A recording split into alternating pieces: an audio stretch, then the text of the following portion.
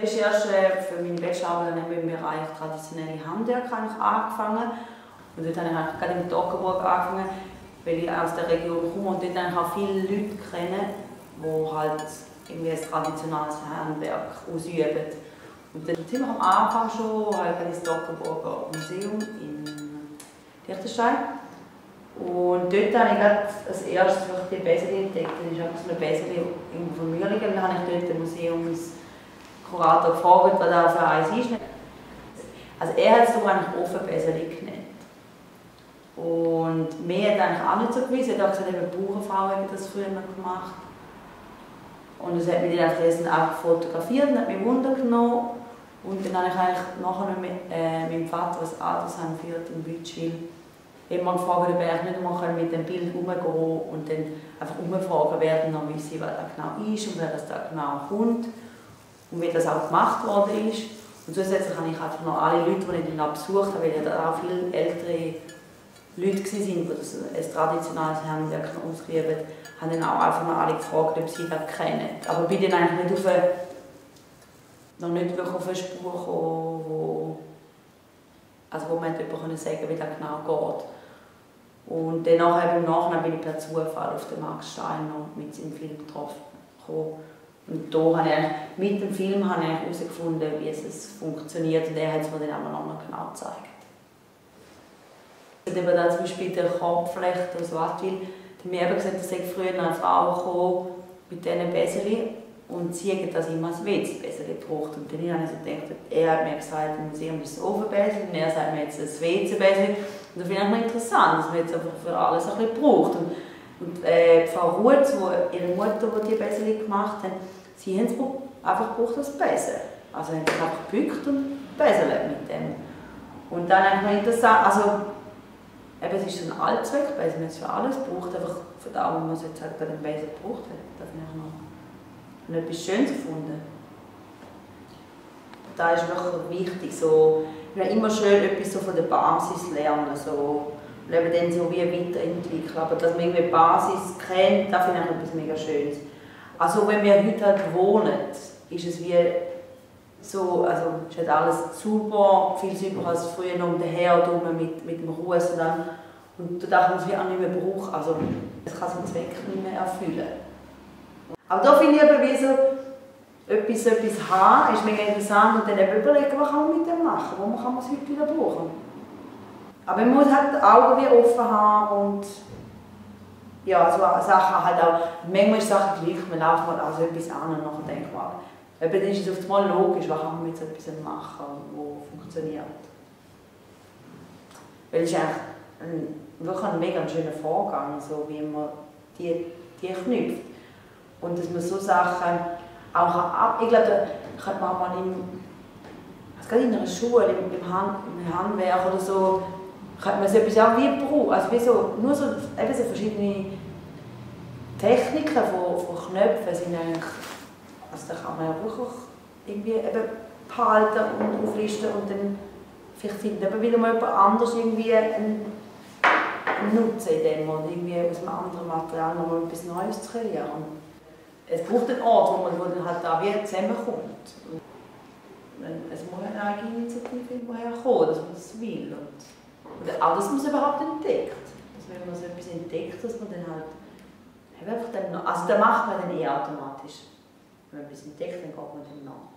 Und dann findet man oft mal so Leute, die auch so etwas suchen oder etwas schon gefunden haben und so. Ich will nicht die Geschichte hinter dieser Tradition untersuchen, sondern einen Mehrwert durch ein Handwerk. Ja, dann habe ich einfach immer Recherche gemacht, bei den Betrieben besuchen. Und dann habe ich eigentlich nach einem Bewertungssystem habe ich eigentlich wie die, also eigentlich das Handwerk oder die Industrie bewertet. Also ob das Produkt interessant ist für mich, was für Materialien, ob die interessant sind. Und dann kommen die Kreise immer, was interessant ist oder was ich für mich brauchen könnte. Man darf das auch ein bisschen hinter, mhm. hinterfragen. Und sonst bleiben die Handwerker am Punkt stehen, wo man halt einfach spätestens in 100 Jahren ist das weg. Und ich glaube, wenn man halt auch sich selber hinterfragt in seiner Arbeit und eben raus, probiert herauszufinden, wo ist es denn noch etwas, wo, also was ist jetzt wirklich wichtig und was, will ich auch, was kann man auch in 100 Jahren noch so machen, dann ist ja gut, aber wir müssen weitermachen. Man kann nicht sagen, ja, vor 100 Jahren haben wir es so gemacht, in 100 Jahren dürfen wir es auch so machen. Da finde ich immer so ein schwierig, sich einfach sagen, es ist immer so gewesen, es wird immer so sein. Und da, ja, für mich stimmt das nicht. Habe ich eigentlich wie da von außen betrachtet, was sie machen und dann aber auch ganz klar als Produkt bewertet, was kommt da raus.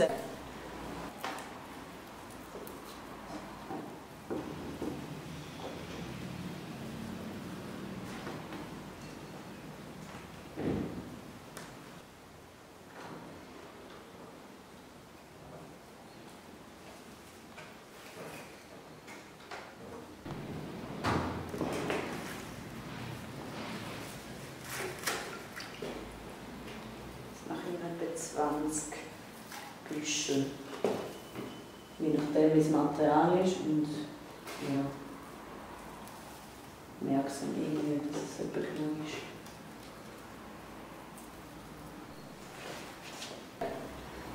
Also mir ist es eigentlich darum gegangen, nicht eigentlich das traditionelle Handwerk nur durch eine Tradition begründen, sondern durch einen objektiven Mehrwert im Produkt.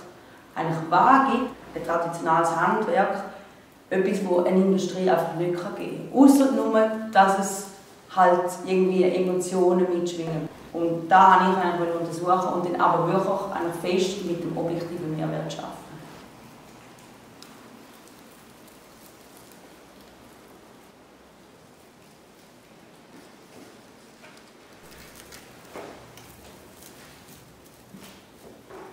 Aus meiner Sicht als Designer finde ich halt, kann nicht nur Geschichten erzählen. Man darf Geschichten erzählen, aber es muss eben alles stimmen.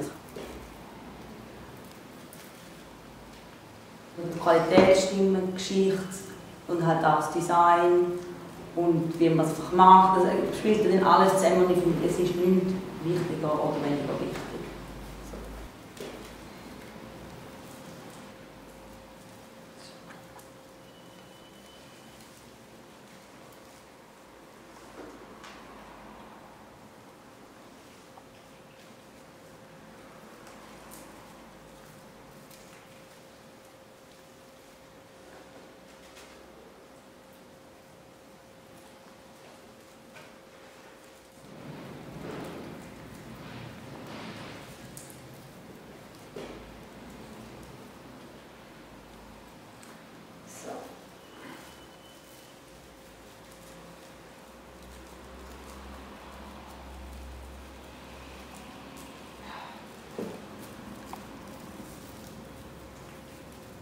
Zuerst haben sie einfach auch so einen schönen Gegenstand gefunden. Also im Museum habe ich den Gegenstand nicht können benutzen oder so, aber ich habe einfach an sich das mega schön gefunden und auch, dass man da überhaupt das gemacht hat. Also eigentlich schlussendlich hat man auch die, das Rehgras einfach zusammenbinden, irgendwie wie, ja, wie da oder wie man äh, die Riesigpässe macht.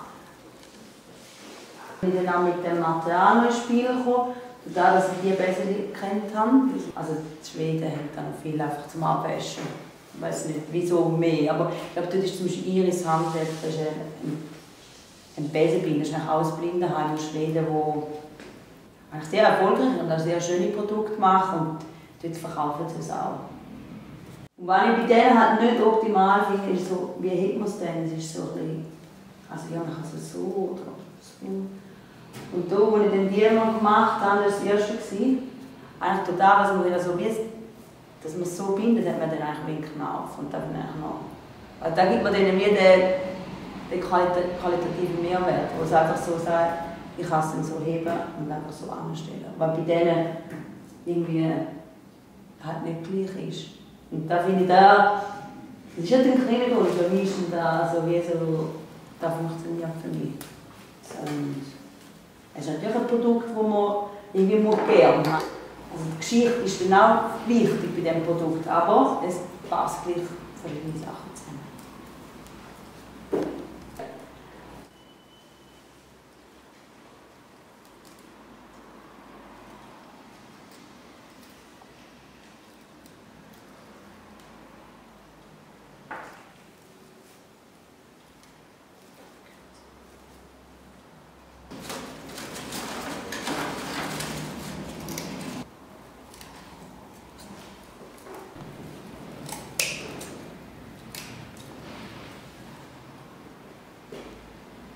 Ja, übrig getauft, weil eben die Technik, die der Max Steiner mir gezeigt die kommt aus Ibrig. Und darum habe ich gefunden, ja, dann haben sie das Recht, um den Namen zu tragen. Ich bin jetzt Anfang Jahres, im Januar 2016 auf London gezogen, wegen einer Praktikumsstelle äh, bei Barbara Osby. Und Jetzt bin ich einfach kurz zurückgekommen von der Woche am Anfang. Ich denke, nach diesen spätestens sechs Monaten, also bin ich auch offen gewesen, um wieder zurückzukommen. Und jetzt ist es eigentlich wie für mich der richtige Ort, gerade im Moment zum Leben. Und habe auch eine Festanstellung bekommen. Und das heisst, jetzt, mal, jetzt bleibe ich mal eine Weile. Und einfach auch gar keins in London. Ich habe wirklich, ich habe ich hatte doch auch nicht so viel Gepäck dabei, als ich gegangen bin. Und da habe ich auch gar keins mitgenommen. Aber jetzt habe ich gedacht, wenn ich jetzt nächste Woche wieder gehe, würde ich auch ein paar mitnehmen. Und dann will ich schauen, dass ich noch ein paar machen kann. Ja, vor allem also auch als Geschenk vor allem, weil ich auch noch ein paar Geschenke mitbringen